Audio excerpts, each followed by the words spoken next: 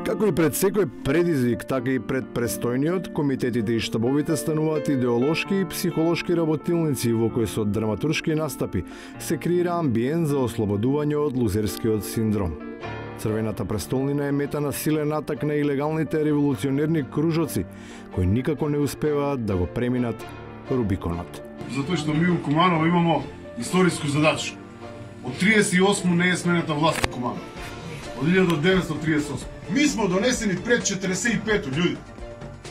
Значи ми смо сега донесени Македонија пред 45 Ова конечна пресметка со левицата која заговараат промотерите на десницата е однапред осудена на неуспех, бидејќи за разлика од она историската, народна и федерална, актуелната, модерна и северна, ја предводат лидери кои ги напуштаат традиционалните ориентири и ја прават безсмислена идеолошката диференцијација. Лечиме позади нас еден социјалистички систем, во кој што како општество пополека се откажуваме и треба да се откажуваме, да се навикнеме на капитализмот. Сепак не треба да се занемарат оние кои се длабоко пенетрирани во системот и за да навлезат уште подлабоко, предиспонираат карактеристики на едноумие, создавајќи матрица на размислување, за која се мислеше дека му припаѓа на некое друго време. Кога јас кога говорам со моите родители, кога ги прашам кој е личноста кој направил најмногу за нив како како луѓе и најмногу за нашата држава, каде се чувствувале највеќе признание, тоа било во времето на Јосиф Брз Ќе дојде време каде што ние на нашите деца, на нашите внуци, ќе им раскажуваме и ќе говориме дека сме живееле во времето кога Зоран Заев заеднички со владата успеал да го реши деценискиот проблем.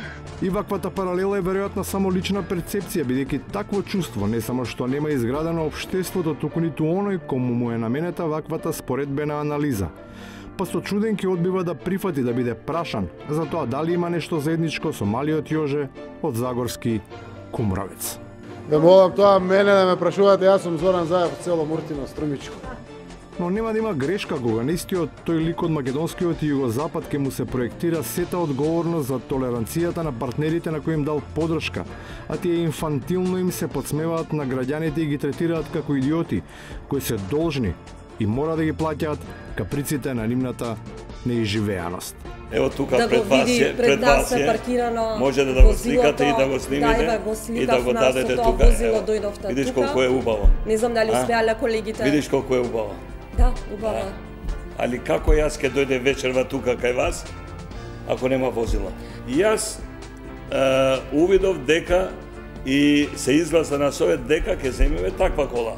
И што има тука е, проблем? Колку е убаво, видите, видите колку е убаво. Слушајте, каков градоначалник ви се гледам јас.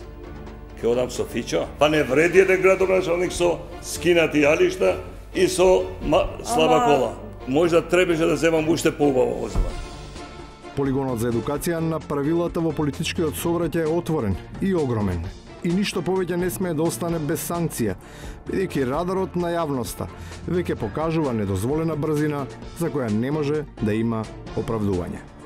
Не е изговорот. Бевме посветени на решавање на, на прашањето со името, сега ќе се посветиме на економијата. Ви се молам, влада од 24-5 министри, вице-министри, премиери, вице-премиери, да нема кој да ги води тие елементи, тоа се малце смешни. Да. И на крајот, за македонскиот Кидрич, кому му беше доверено да ја вози македонската економија, ама за управувањето беше оценет со цифрата која асоцира формата на воланот. Пазете, немате возачи во Македонија веќе, имате камиони што стојат бидејќи нема кој да ги вози. За транспорт на решенија во економијата не се проблем возачите, туку диспечерите. Камионите ќе мрднат од место само тогаш кога ќе се знае каде треба да стигнат.